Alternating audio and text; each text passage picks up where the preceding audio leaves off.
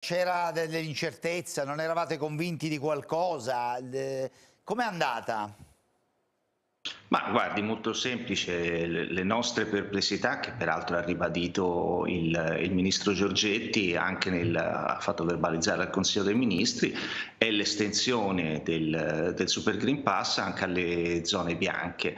E la giustificazione che, che, ho sentito prima insomma, del, del, turismo dei, dei Novax francamente insomma, non tiene.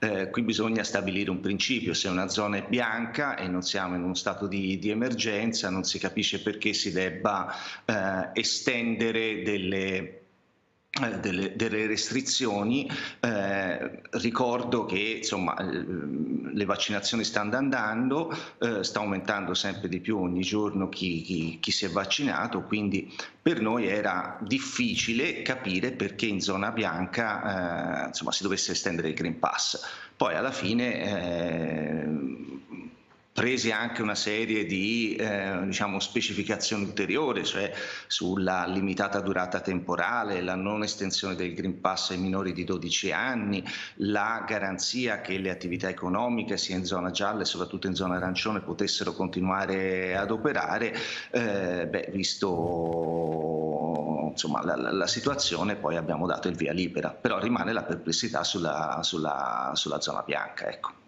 Sì, sì, no, lei l'ha spiegato molto chiaramente. No, io volevo dire, volevo aggiungere una cosa, cioè tutte le perplessità, le, le, le posizioni differenti, sfumature, beh, ovviamente, come si dice, hanno diritto di cittadinanza e sono lecite.